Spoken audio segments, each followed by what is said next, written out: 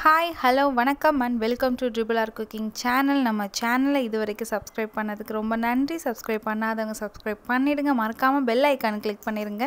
வாங்க நம்ம இப்போ வீடியோக்குள்ளே போகலாம். ஆல்ரெடி எந்தெந்த பொருளை காய வைக்கணும் எந்தெந்த பொருள் எடுத்துக்கணும் எதை எதை வறுக்கணும் அப்படிங்கிறதெல்லாம் நம்ம போன வீடியோவில் பார்த்தோம். இப்போ வறுத்து அரைக்கிறது ப்ராசஸை பார்ப்போம். நம்ம கடலைப்பருப்பை ரெண்டாக பிரித்து வறு வறுக்கிறாங்க.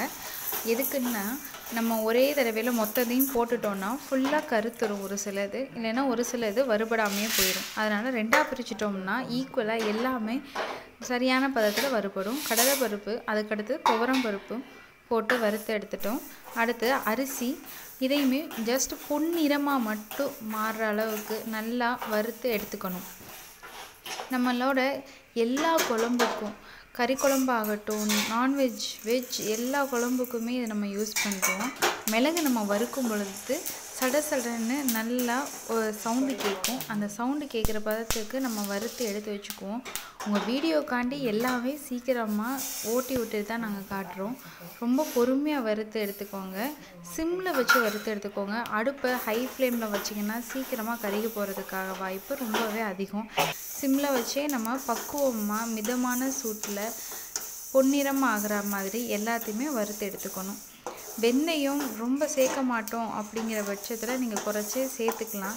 நாங்கள் எவ்வளோ சேர்ப்போமோ அந்த அளவுக்கு எடுத்திருக்கோம். வெந்தயம் நல்ல சூட்டை தணிக்கும். ரொம்ப ரொம்ப நல்லதும் கூட வெந்தயம் அதுவும் நம்ம மசால் பொடியில் கலந்து சேர்க்கும்போது எல்லா நாளும் யூஸ் பண்ணுறனால தினமும் வெந்தயம் கொஞ்சம் சேர்த்துக்கிறது ரொம்பவே நல்லது.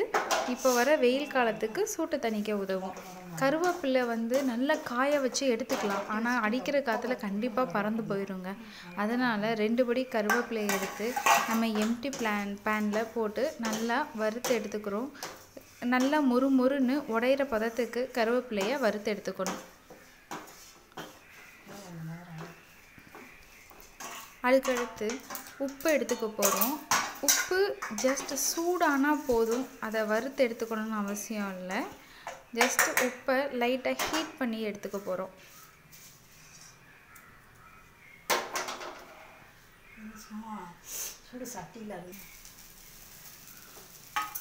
அடுப்பை ஆஃப் பண்ணிவிட்டு ஜஸ்ட்டு பேனில் இருக்க ஹீட்லேயே வறுத்து எடுத்துக்கலாம் அப்படிங்கிறக்காண்டி ஜஸ்ட்டு உப்பை ஹீட் பண்ண மட்டும் செய்கிறாங்க உப்பை ஹீட் பண்ணிவிட்டு அது கூட கருவேப்பிலையும் சேர்த்து வச்சுட்டு நம்ம அதுக்கடுத்து மசாலா பொடி எதெல்லாம் எடுத்து ஆட் பண்ணணுமோ அதெல்லாம் ஆட் பண்ணுற ப்ராசஸை பார்க்கலாம்.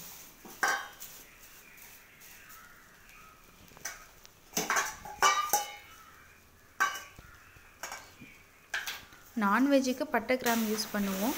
அதனால் தனியாக பட்டை கிராம்பை அதில் ஆட் பண்ணிக்கலாம். நம்ம இந்த மாதிரி பட்டை கிராம்பு இதெல்லாம் இல்லாமல் எடுத்துக்கிட்டோன்னா புளிக்குழம்புக்கும் நம்ம இதை யூஸ் பண்ணிக்கலாம். புளிக்குழம்புக்கு தனியாக நான்வெஜ் குழம்புக்கு தனியாக அந்த மாதிரி தனித்தனியாக நம்ம மசாலா அரைக்கணும்னு அவசியம் இல்லை. இந்த ஒரு மசாலா எல்லா இதுக்கும் பொதுவாகவே நம்ம யூஸ் பண்ணிக்கலாங்க. நம்மளோட மசால் பொடி எல்லாத்தையும் மாற்றி எடுத்துக்கிட்டோம்.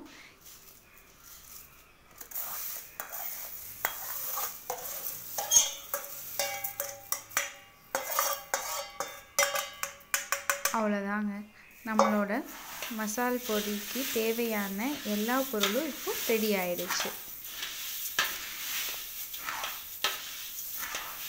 பார்க்கவே ரொம்ப அழகாக இருக்குல்ல?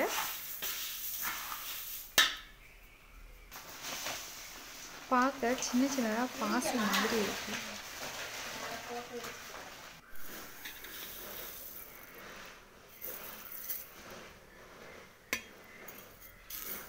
இதை வறுக்கும் போது வீடு ஃபுல்லாக கம்ம கம்மன்னு ஸ்மெல் அடிச்சது.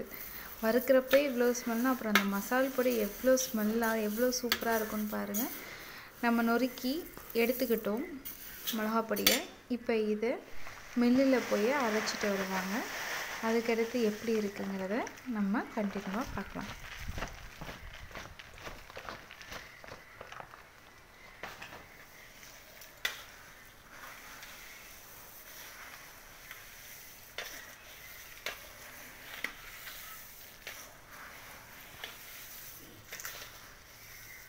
மரசால் பொடி அரைச்சி எடுத்துகிட்டு வந்தாச்சு. அதை நம்ம ஒரு நியூஸ் பேப்பர் விரித்து வீட்டில் பிள்ளைங்க குழந்தைங்க கைப்படாத இடத்துல காய வச்சு சூடு கொஞ்ச நேரம் ஆறுனா போதும். ஒரு டூ டு த்ரீ ஹவர்ஸ் வந்து நல்லா காய வச்சுட்டு அதுக்கப்புறம் நம்ம எடுத்து பாக்ஸில் சேவ் பண்ணி வச்சுக்கலாம். ஒன் இயர் கூட நம்ம இதை யூஸ் பண்ணிக்கலாம். உங்களுக்கு இது கெட்டு போகவே போகாது வண்டும் விழுகாது. தேங்க்யூ பாய் பாய்